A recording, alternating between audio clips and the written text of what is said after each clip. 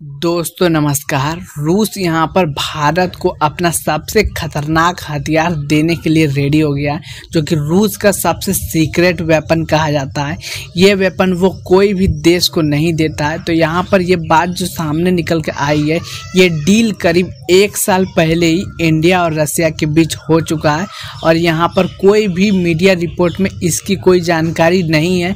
तो यहाँ पर जो डील हुआ है, उसमें रूस कौन सा सबसे सीक्रेट वेपन देने जा रहा है तो इसी पर बात करेंगे। तो वीडियो को लास्ट तक ज़रूर वॉच करें तो आइए शुरुआत करते हैं। देखिए, रूस की जो सबसे खतरनाक और सीक्रेट वेपन कहे जाते हैं, जो कि के थ्री टू वन क्लास के सबमरीन है, जो कि न्यूक्लियर पावर सबमरीन है।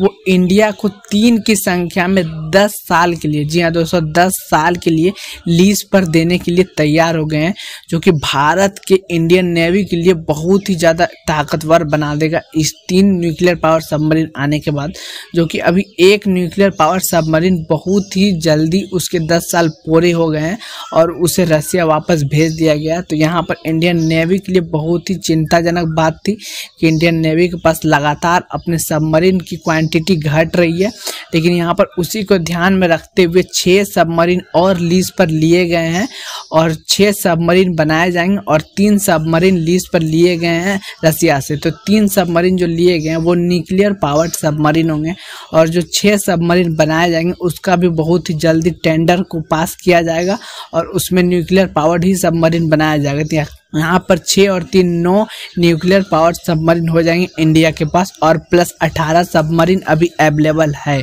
तो यहाँ पर हम लोग सबमरीन के मामले में 2025 से 30 तक बहुत ही ज़्यादा कैपेबल हो जाएँगे। पूरी ही दुनिया में सबसे ज़्यादा न्यूक्लियर पावर सबमरीन रखने वाला देश हो जाएँगे भारत, क्योंकि अभी चाइना के पास भले ही सत्तर की संख्या में सबमरीन है, लेकिन जो न्यूक्लियर पावर सबमरीन की बात करें तो उसके पास बहुत ही कम संख्या में है और उसी को ध्यान में रखते हुए यहाँ पर न्यूक्लियर पावर सबमरीन इंडिया बहुत ही जल्दी और स्पीड में बनाने की बात कर रहा है। क्योंकि सबमरीन जो सिंपल सबमरीन होते हैं, जो जनरेटर डीजल से चलने वाले सबमरीन होते हैं, वो सबमरीन से करीब तीन गुना ज़्यादा इसमें पावरफुल और बहुत ही अच्छे सबमरीन माने जाते हैं।